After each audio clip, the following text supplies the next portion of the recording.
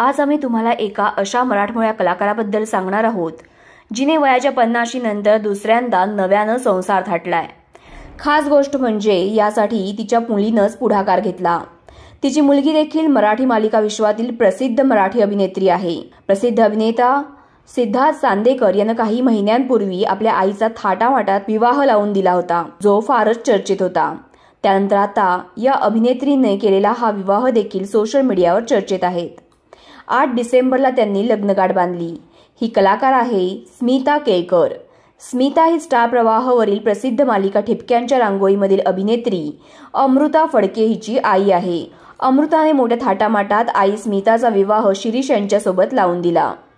स्मिता या एडिटर असून त्या मराठी सिनेसृष्टीतील प्रोजेक्ट्सवर काम करतात. तर अमृता सध्या राजू बनगे या झेंटलमन या नाटकात अंशुमन विचारसोबत काम करत आहे. पण ती खास करून ओळखली जाते ती ठिपक्यांची रांगोळी या मालिकेमुळे. ठिपक्यांची रांगोळी या मालिकेने जरी निरोप घेतला असला तरी आजही ही मालिका आपल्या मनात घर करून आहे. तर मग तुम्ही आज ही ठिपक्यांची रांगोळी या मालिकेला मिस करता का हे कमेंटमध्ये आवर्जून सांगा.